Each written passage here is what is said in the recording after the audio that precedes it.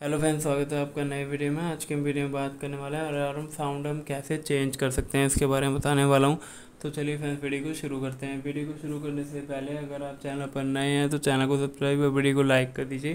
Friend जैसे कि आप देख सकते हैं, मेरे पास ये रेडमी का फ़ोन है और आपको सबसे पहले क्या करना है सेटिंग पर क्लिक करना है तो क्लिक कर लेंगे। और सेटिंग पर क्लिक करते ही आपको इस तरीके का आइकन शो करेगा। यहाँ पर आपको क्या करना है साउंड एंड वाइब्रेट वाले ऑप्शन पर क्लिक करना है। क्लिक करते ही, आपको इस तरीके का आइकन शो करेगा। यहाँ पर आपको क्या करना होगा? जैसे कि अलार्म वाले ऑप्शन पर क्लिक करना है और ऑल रिंग टोंग पर क्लिक करना है। ऑल रिंग टोंग पर क्लिक करते ही यहाँ से आपको क्या करना है? अलार्म वाले ऑप्शन पर जाना है। ये देखिए, हम अलार्म वाले ऑप्शन पे आ चुके हैं। यहाँ से आप कोई सा भी चेंज कर सकते हैं। जैसे कि मैं ये कर देता हूँ और बैक कर देता हूँ और आपकी चेंज हो जाएगी। तो उम्मीद है फ्रेंड्स आपको वीडियो पसंद आएगी। वीडियो पसंद आई तो चैनल को सब्सक्राइब वीडियो को लाइक कर दीजिए। मिलते हैं नेक्स्ट वीडियो में। तब तक के लिए नमस्कार।